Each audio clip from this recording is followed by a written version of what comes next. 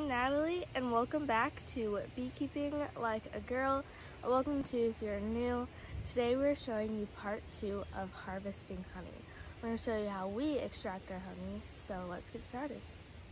So we started off by cleaning everything, and now it is time to get spinning the honey. But one thing I might have noticed is that this isn't all capped, and that is why one reason why we always have a refractometer, which is the tester that we used earlier in the last video.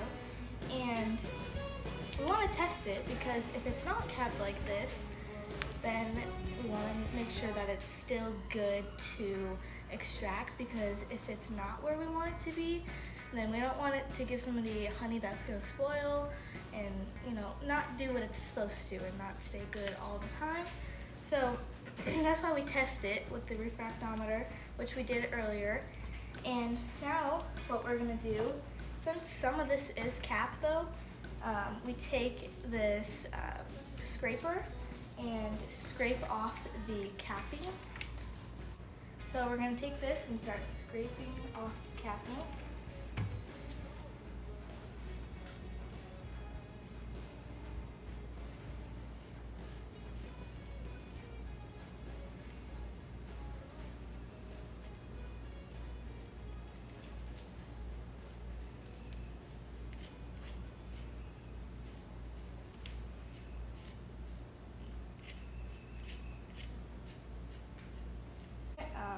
Now this other side doesn't have really that much capping, but it still has some, so we want to still make sure that we get that uncapped.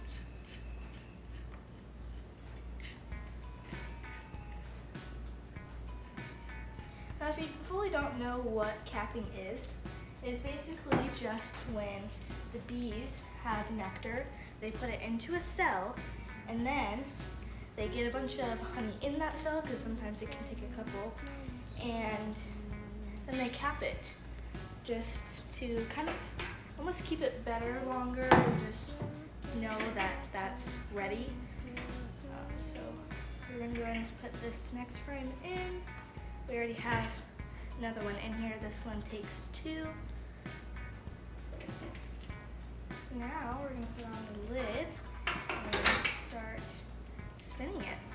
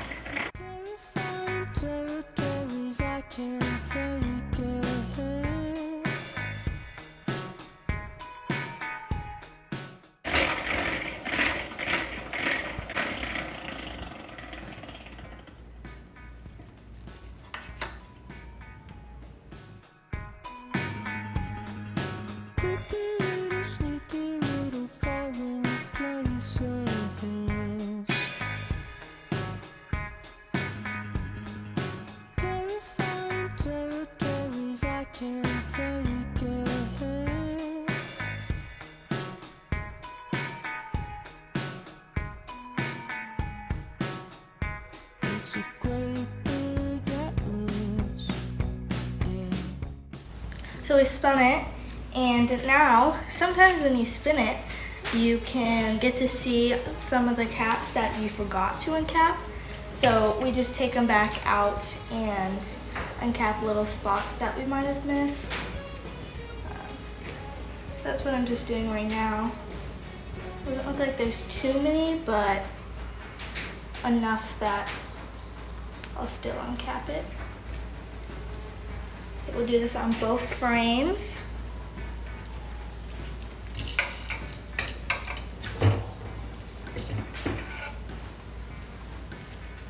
So it takes a couple spins to actually get all of the honey out. There's still honey in here, but you're not gonna get all of it. Um, but there's definitely honey at the bottom. So in a little bit we'll show you, but down at the bottom of this spinner, there is a little opening that we have and we'll just open that up so that we can have the honey flow out into another bucket down here.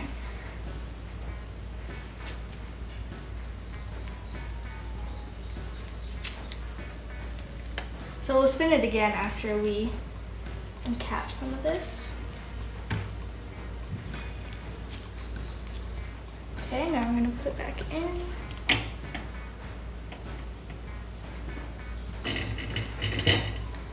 And spin it a little bit slower this time.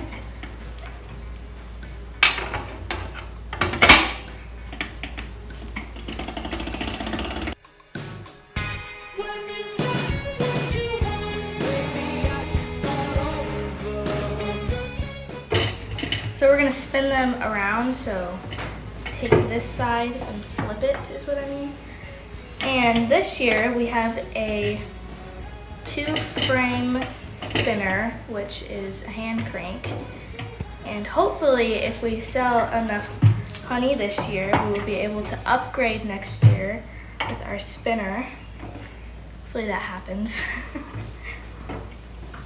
Because it can be quite a process doing it cranking like this because especially when you have four more supers over there that you need to um, extract and then a whole bunch still up at the bees.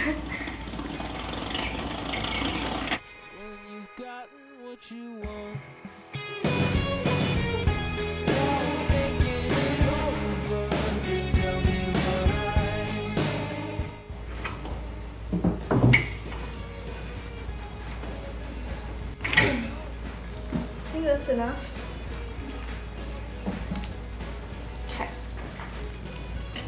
So now that we're done spinning this, we will put it back into the box and then hopefully take it up again tomorrow and give it back to Midnight Hive and they will start cleaning it up and filling it again.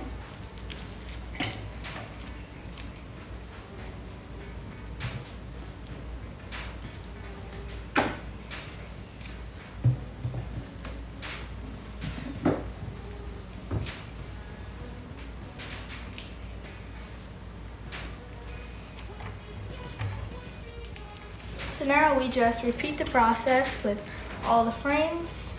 There's 10 frames. Um, I think they filled eight, maybe? Something like that.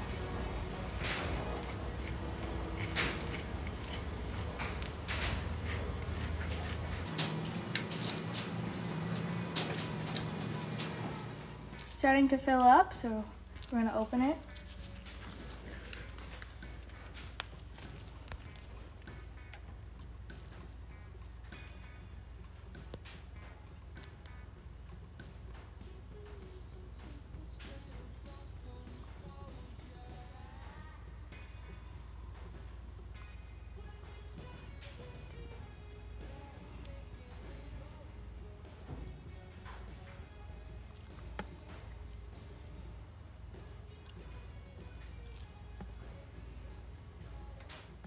So we take it through two filters.